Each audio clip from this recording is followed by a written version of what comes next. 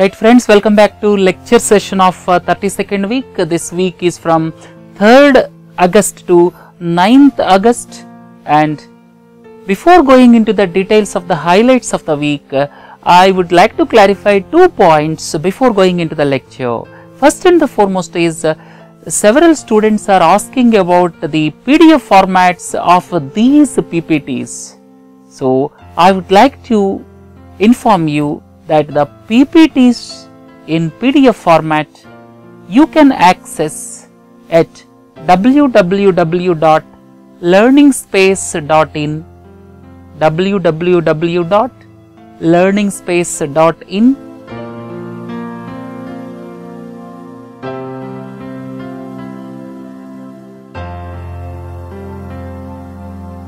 on the top left hand corner you will have a link to this uh, PDF format of uh, PPTs from week number 1 to 30 that means for all the 30 weeks uh, lectures will be available. So the format whatever we have followed from the beginning all you can access.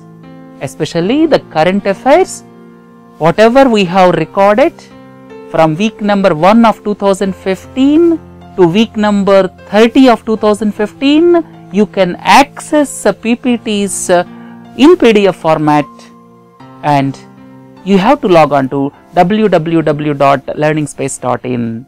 The second point I would like to clarify is uh, some students are asking how do I come to know with regard to the uploading of various uh, lectures. This learning space has got a YouTube channel from where you are accessing these videos. And if you go to the YouTube channel of Learning Space right hand side corner you will see this uh, subscribe button. And through that you can become subscriber to this channel. And subsequently whatever the videos we upload you will get intimation from YouTube. Right? So please become subscriber for the YouTube channel of Learning Space. And these two things I have clarified today with regard to the PDF format of current affairs PPTs. Second is with regard to becoming the subscriber to the YouTube channel, right. I hope you understood these two points and let us move on to the important events of the week. First and foremost is government signed peace accord with NSCN-IM. Naga peace accord was signed with the major faction of NSCN, National Socialist Council of Nagalim, IM faction and second important aspect is the National Handloom Day inaugurated by the Prime Minister in Chennai. First National Handloom Day inaugurated at Chennai.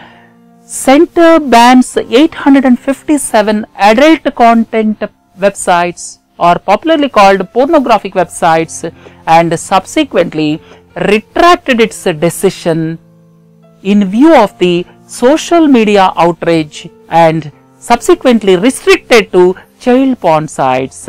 When it comes to the events around the world, it is the clean power plan by President Barack Obama. After the Affordable Care Act, it is the clean power plan by Barack Obama. Expanded ambitious uh, Suez Canal was uh, inaugurated in Egypt. Debris of MH370 were found near Reunion Island. Reunion Island is in the Indian Ocean, belongs to France, close to Africa. Religious intolerance at its extreme in Bangladesh. Fourth blogger was killed recently. North Korea sets the clocks back by 30 minutes from August 15. It is going to set at GMT plus 8 and a half hours. At present it is GMT plus 9 hours. Political parties finally agreed for the constitution in Nepal. A long pending issue was solved. When it comes to the economy events, first 4G services were launched by Airtel. 4 to 5 months before the launch of uh, Reliance Jio. When it comes to miscellaneous events, success of clinical trials of uh, Ebola vaccine, good news to Africa, atomic bomb attack on Hiroshima and Nagasaki in Japan, completed 70 years. Several people lost their lives in the closing moments of Second World War in the year 1945. Right, these are the important events. Let us look at one by one.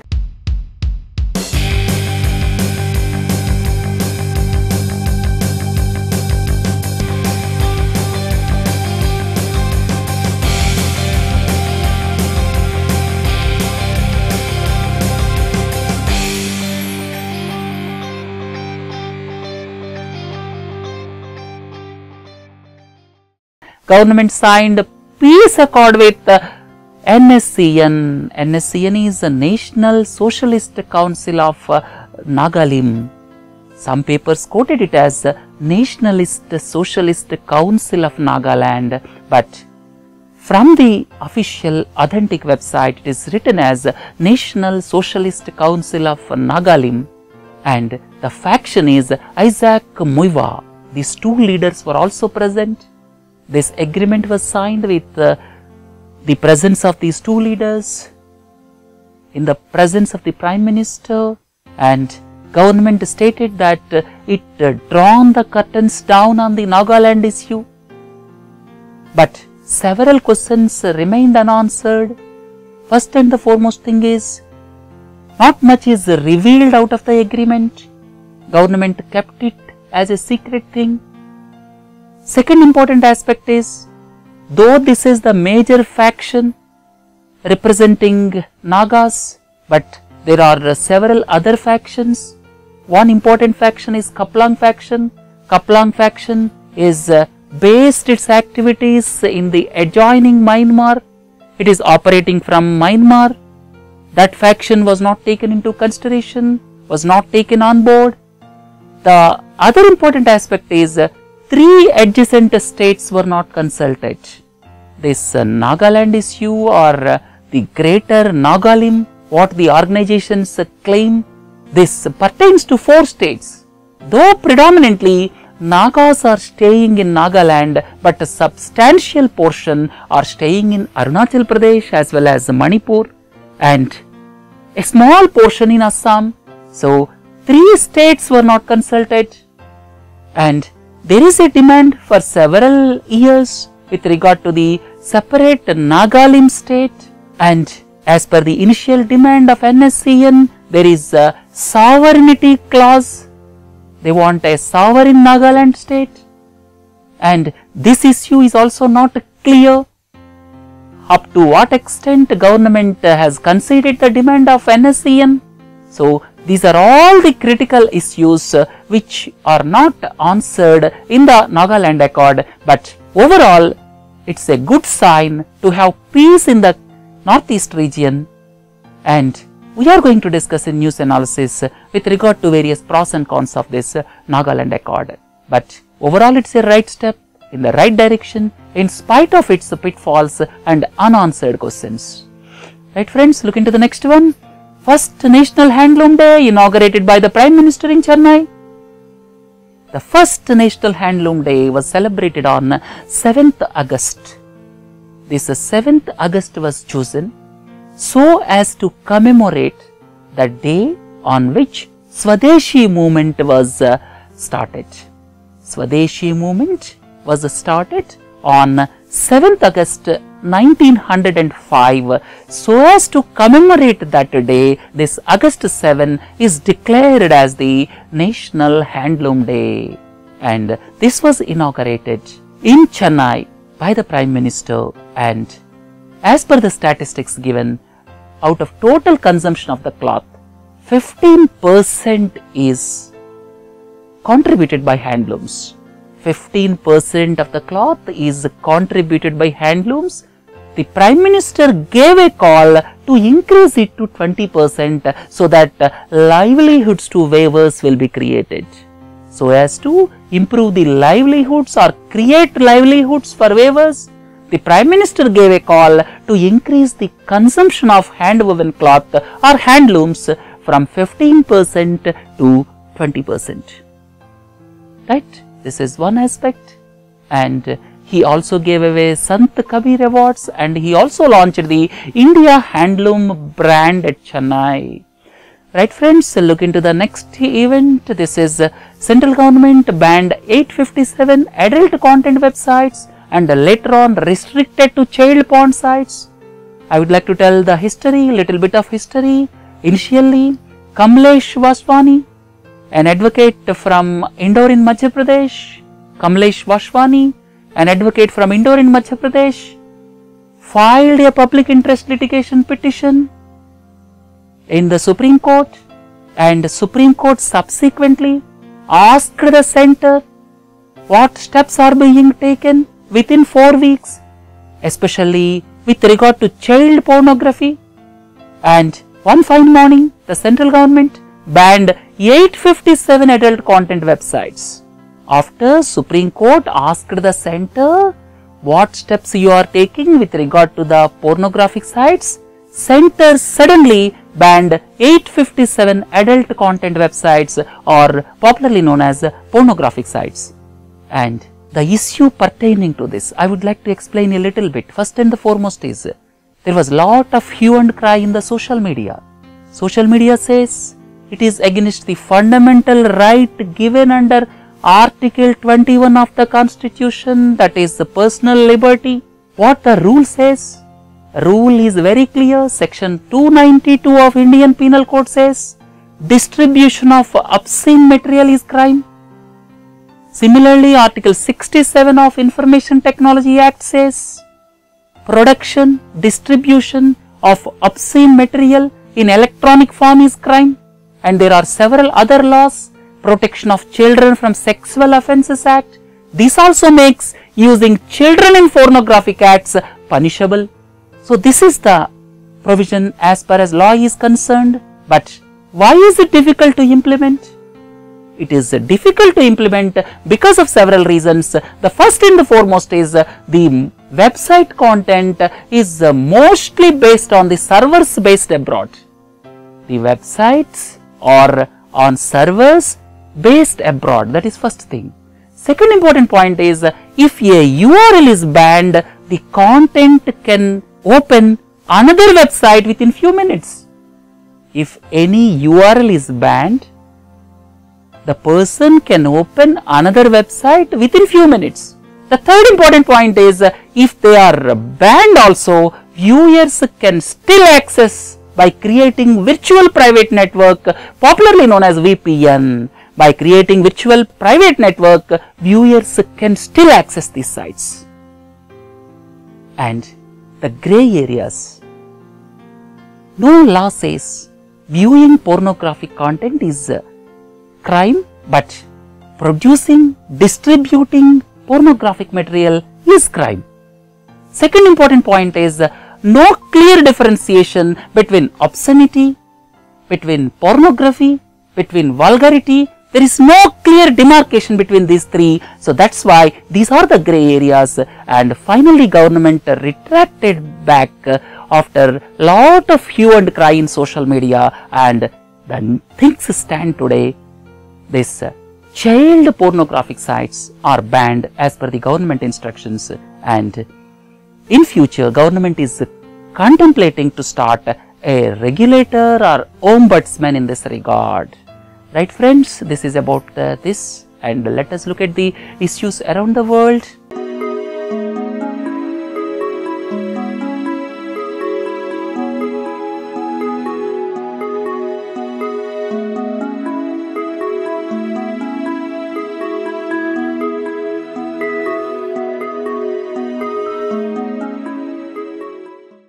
After the Affordable Care Act, President uh, Barack Obama is remembered for uh, Affordable Care Act. Now, another magnanimous decision taken by President Obama that is Clean Power Plan. Obama took a decision with regard to Clean Power Plan and he is the first president to take such an important decision as far as climate change is concerned. Second important point is this global climate change conference or global climate change summit is going to be held in Paris from November 30 onwards and USA President took a decision by unveiling clean power plan. I would like to tell you two three points as per the clean power plan. All the power plants have to reduce their carbon dioxide emissions by 32 percent from 2005 levels by 2030. From 2005 levels, all the power plants have to reduce their carbon dioxide emissions by 32 percent by 2030. Second important point is they have to put forth their plans by 2018 and start implementing them by 2022. So, these are the important aspects of this clean power plan and US President took the lead in announcing this, but there are uh, critics who say that why you are penalizing only power sector and basically coal producing states are up in arms in United States of America why the coal based plants are only targeted. There are carbon dioxide emissions from other sources also. Why this is the sector which is targeted and whatever the critics say ultimately it will give push to not only wind energy but also solar energy in future. Right friends, like look into the next one expanded Suez Canal inaugurated. All of you are well aware Suez Canal was inaugurated in the year 1869. It connects Mediterranean Sea with the Red Sea, important link, important trade route between Europe and Asia and it was inaugurated in the year 1869 and subsequently it was nationalized in 1950s much against the wishes of western powers and now it is expanded.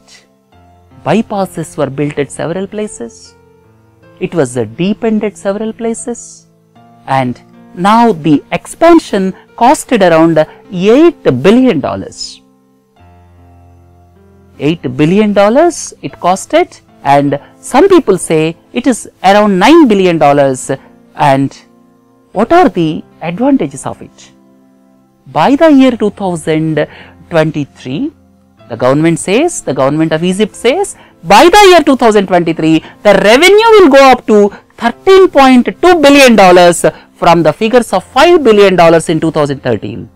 From $5 billion in 2013, the revenue will go up to $13.2 billion. The second important aspect is the number of ships passing through this channel will go up to 97 by 2023. So, these two points and ambitiously it expanded the Suez Canal. Please don't forget Suez Canal passes uh, through isthmus of uh, this uh, Suez. It connects Mediterranean Sea with Red Sea, right. Looking to the next one. Debris of MH370 were found near Reunion Island. This Reunion Island, you may ask where is the Reunion Island? This Reunion Island is close to Africa or you can say close to Madagascar. Please look into this map. And debris was seen here but the flight was going from Kuala Lumpur to Beijing. This is not in this route. The flight was going from Kuala Lumpur in Malaysia to Beijing in China and the debris is found almost in the opposite direction and the flight was going from Kuala Lumpur to Beijing on 8th March with 227 passengers on board and subsequently went missing and the debris was found near the reunion island and several questions remained unanswered. The questions are what caused the plane to divert? Any cockpit crew are involved? Is it any terror attack or hijack? Why the tracking systems were switched off. Was it a case of suicide by pilot? Or was it attacked by any military of any country? So, these are the questions very difficult to answer, but please don't forget the debris of the flight were found near the beach of uh, this Reunion Island. Reunion Island is in Indian Ocean and it belongs to France, please don't forget. When you look at the next world event, it is religious intolerance at its extreme in Bangladesh unfortunate events are taking place. The persons whoever are propagating secular beliefs or free speech are being killed one after the other. Please look into this. When you go back to 27th of February, it was Avijit Roy blogger of Muktomona, he was killed in Dhaka and subsequently on 30th March, Rahman Babu was killed in Dhaka.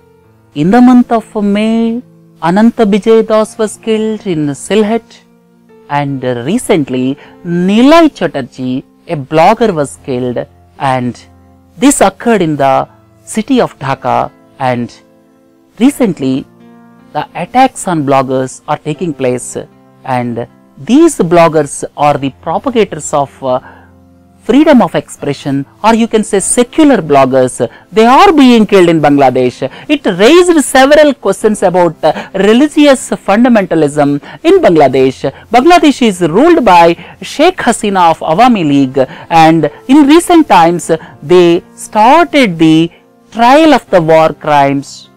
They started the trial of the war crimes in the Bangladesh liberation war that took up in the year 1971. In the year 1971, some people worked against Bangladesh liberation, especially Jamaati Islami.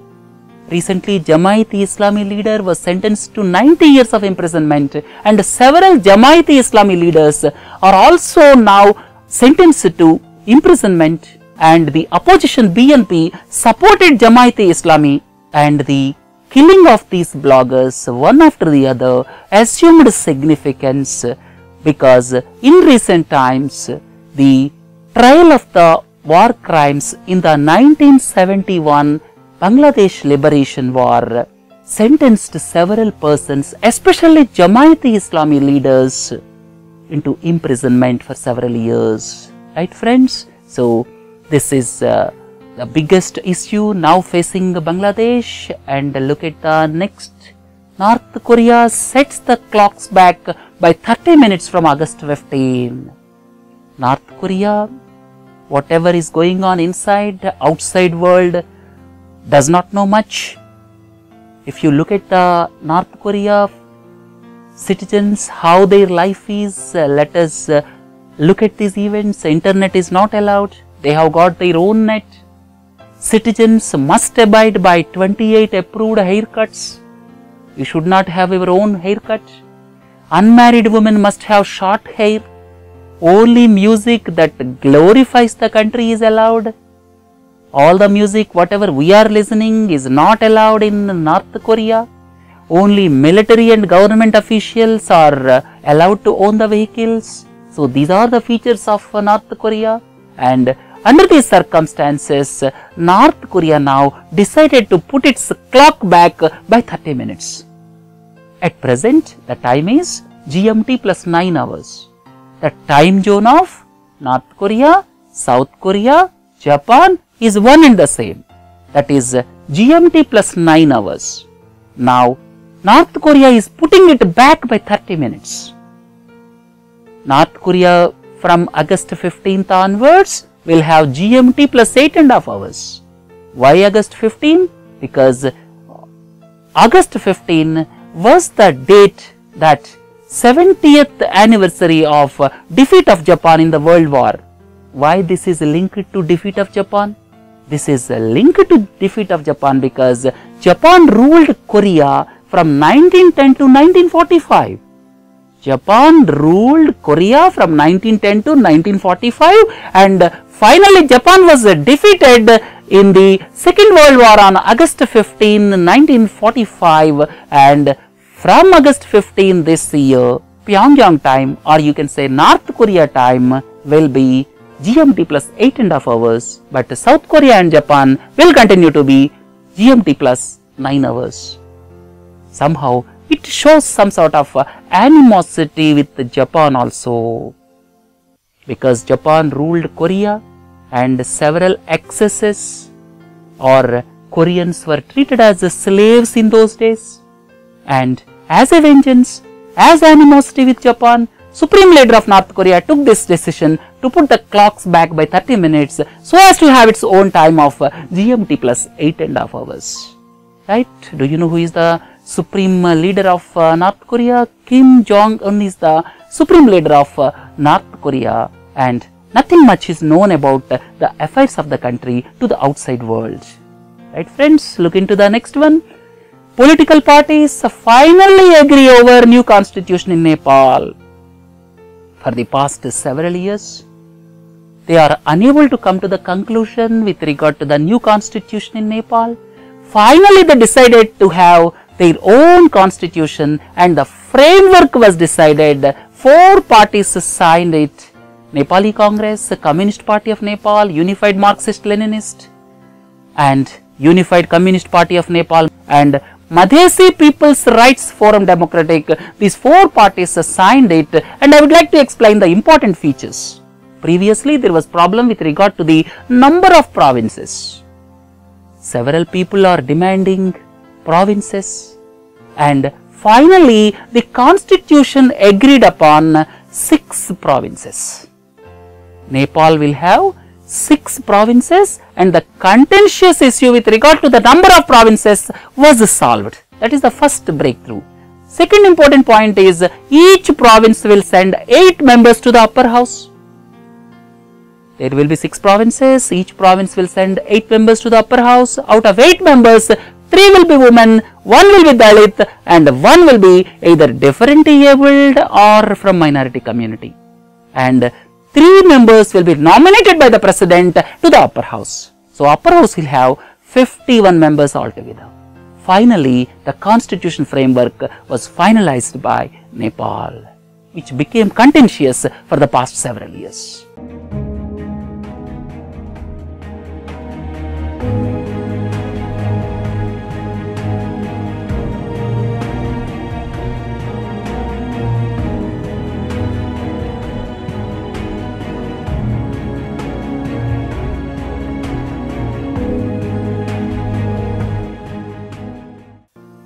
The economic events. Airtel launched 4G services just four months before the launch of uh, Reliance Jio. Reliance Jio is coming up with uh, 4G services in the month of December 2015. We learned last week 4G will be based on long term evolution or LTE technology. And Airtel launched this service in 296 towns across the country and Airtel became the first telecom company to launch 4G services in the country. And the biggest feature of uh, this uh, 4G service is it gives high speed mobile broadband connectivity. High speed mobile broadband is the feature of uh, 4G and its speeds will be 10 times more than 3G. Its speeds will be 10 times more than 3G and the other details I have given in this PPT, please go through them.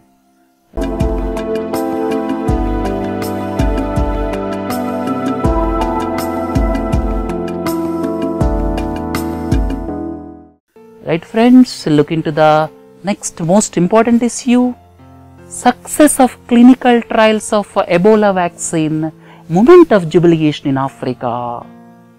Ebola vaccine, clinical trials are going on and there is a moment of jubilation. These clinical trials are being conducted in West African country Guinea, one of the worst affected along with Liberia and Sierra Leone.